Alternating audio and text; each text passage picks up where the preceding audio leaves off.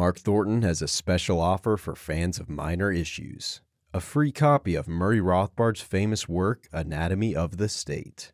This is a limited time offer, so act fast. Get yours today at Mises.org slash issues free.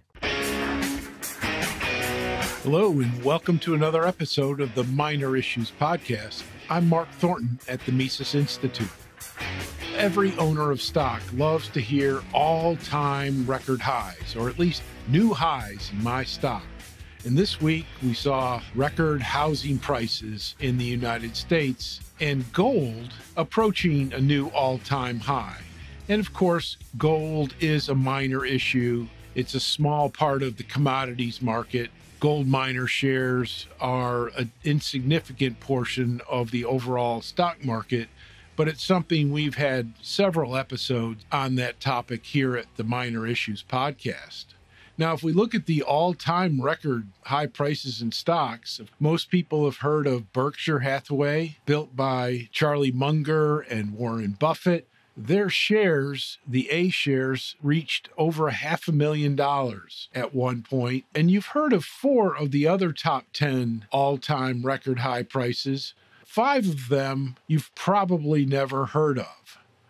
One all time record high price was for General Motors at $700 a share, which it hit in the year 1916.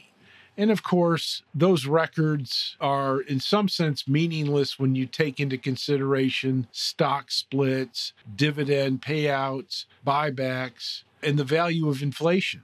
For example, that $700 a share General Motors stock in 1916, adjusted for inflation, should be worth multiples of tens of thousands of dollars, whereas today it sells for about $30 a share. So, generally speaking, we shouldn't put too much stock, or it's at least ambiguous when something hits a new high or an all time high or even if that's a stock index like the Dow Jones Industrial Average hitting an all time high. News organizations, this is a major cause for celebration, but we're not really sure what to make of it as investors or economists. For example, technical analysis of the stock market. What are we to make of new highs or all time highs? Is that really a buy signal? Meaning that maybe new buyers are coming into the market, sellers have already sold, or that maybe there's a short seller squeeze. Very often, technical analysis can't answer those types of questions.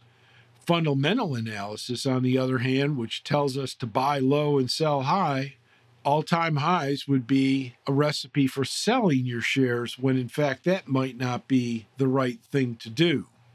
So, yes, all time highs are unambiguously good for the owners of those shares, but all time highs is not a complete green light to invest much more money to go all in on a particular stock or index. For example, housing prices hitting an all time high.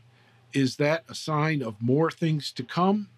Or is that a sign that that market is in a bubble or a squeeze which is creating high, high prices, but might be leading us to a crash. Now, I would point out that in a minor sense, gold might be different with respect to this. Even though if gold does set an all time high right now, well, you have to adjust for inflation and other considerations. But gold doesn't have earnings reports in the news. It doesn't have buybacks. It doesn't have dividends. It doesn't have takeovers or bankruptcies. In other words, there's not a lot of news items to bring that to investors' attention.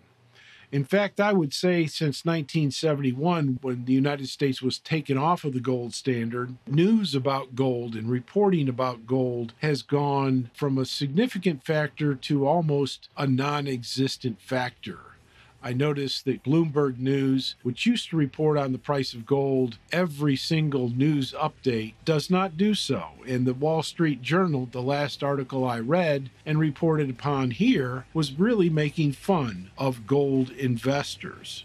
So I would say that right now the general public is unaware about gold in general it's unaware that gold was money in the United States and around the world for a very long time, really for the development of civilization, and that gold still is the reserve asset of central banks. So it's still very important, but it's very much underreported. So, indeed, we will have to see if gold hits an all time high and what transpires afterward.